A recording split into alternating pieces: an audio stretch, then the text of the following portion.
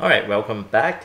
So that last part of this jumping audio thing, that that just don't work very well. So we're going to scrap that and um, yeah, we're just going to scrap that. so right click, um, delete that. Alright, um, yeah, we're going to delete this whole thing. okay, so I have a better idea of how to do this. Um, since we need to do this anyway with a keyboard. So you know how like right, right now when we play the game, um, I mean it worked, okay? We, we, we get to pick up the object um, and then it, we can jump and all that. Hello, welcome to Platform World. But um, our characters always Good job. face one direction. You ate an pineapple. the animation don't change. Good job. You ate an pineapple. All right. Um, so we want to put in like a detection thing where it change the animation when we press left or right and jump, right? Okay, so we're going to do our sound that way. So to do that, we want to right click, add a new object, and then we add a keyboard object. So that will let us detect any keyboard event. So we go back to the event sheets right here, add a new event. So we're going to do the jumping thing first because that's the easiest one. Um, so going to keyboard. So now you have a couple options here. When key is down, meaning when you hold it down, like every time you, when you when the when you're holding a key down, it'll keep doing it. It'll keep occurring it, like the keep doing the action. All you can do when it's released or when it's pressed. So release and press, it only happen once. So we're gonna do on key press. So on key press, what we want to do, we want to click here. Um, the jumping key is up. So when you click the up arrow key, we want to tell the sound to play the jumping sound. And okay, let's get rid of the talking person thing because that is just annoying. Okay, let's try this and see if it work.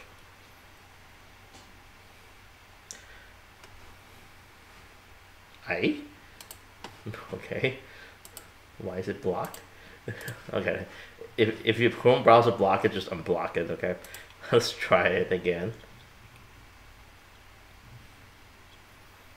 Hello, welcome to Platform World.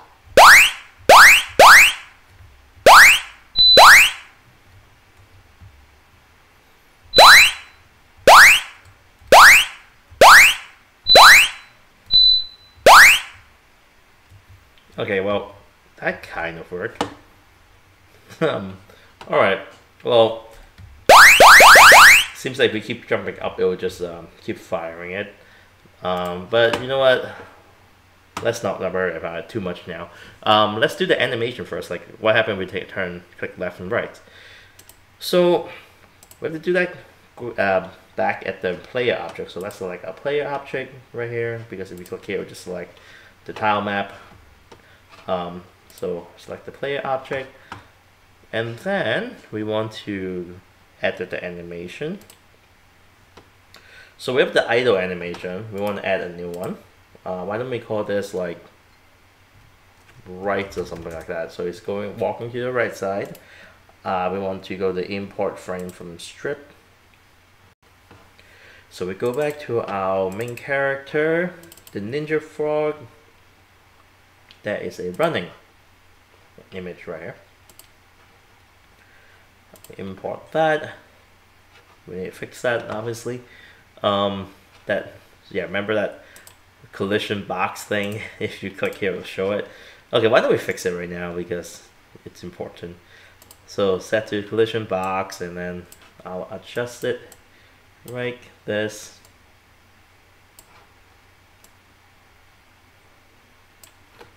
It's good enough, I guess. Right click, uh, apply the whole animation so the entire animation get this. Alright, close enough. Okay, maybe, maybe, so maybe a little bit further down since they, um,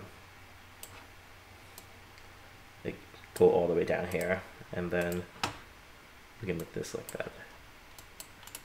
Okay, apply to whole, whole animation. If we do all animation, apply both of them, we don't want that. All right, so that's going to the right side. Um, so remember we're to loop this and preview. All right, make maybe like make it a little bit faster. Okay, So we got the right side, we want to do the left side, duplicate that, and we're gonna call this left. And what are we gonna do? Well, we're gonna mirror it, but if we click that only mirror one frame and we want to mirror the whole sequence. So you click on this little arrow, uh, mirror, apply to animation. So we flip the whole thing. Now we got left and right. So make sure we spell this correctly because we need to um, refer to that. Okay, so now we go back to the event sheet and then uh, we can do add event and let's see like if the keyboard detects um, well when the key is down if we do the left arrow we want to play the left animation so so if the keyboard if left is down if we click on the left we want the player to set the animation. We want to change the animation to left. Okay and then if the keyboard if we press down like uh, right arrow uh, we want to set the player animation the animation set to right.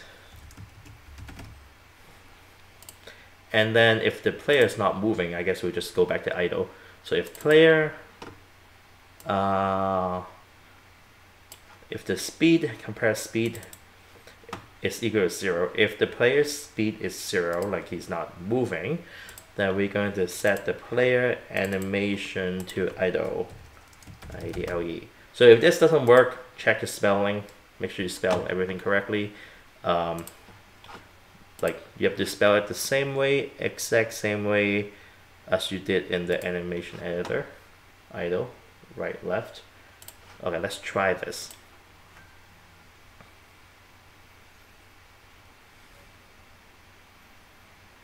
Hello, welcome to Platform World.